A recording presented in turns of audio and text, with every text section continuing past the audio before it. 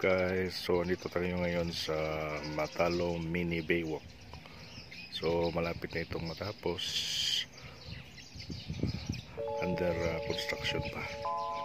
Pero, mukhang maganda yung design niya. So, dito, makikita naman yung port patungong Kanigaw. Yan, port patungong Kanigaw Island. Ito yung Kanigaw Island. So mga 30 minutes travel papunta doon sa Kanigaw. So kung makikita natin maraming uh, mga tao, mga tourist yun galing Kanigaw at papunta ng Kanigaw Island. So malapit lang yung port dito at matatanaw na yung Kanigaw. So dyan kayo sasakay sa may mga bangka dyan.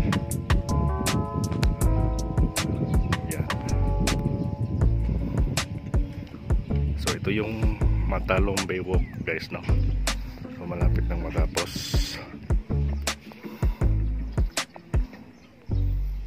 Yan, may mga playground, may seesaw at saka may swing.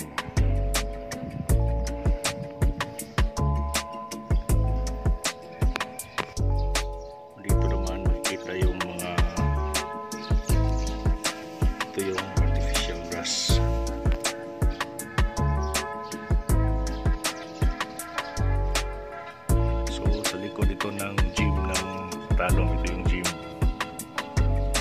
Yan.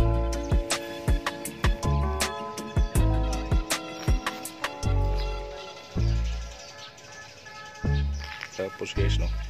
So quick view lang ito guys.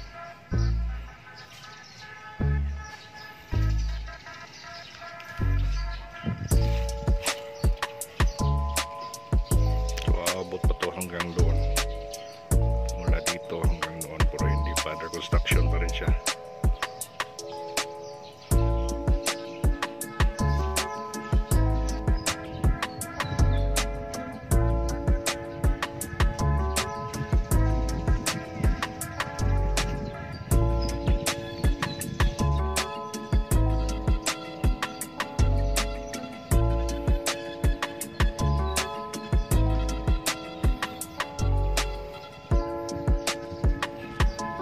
So ayan guys no, sa likod lang siya ng rescue. Ito yung hindi RRMO na building.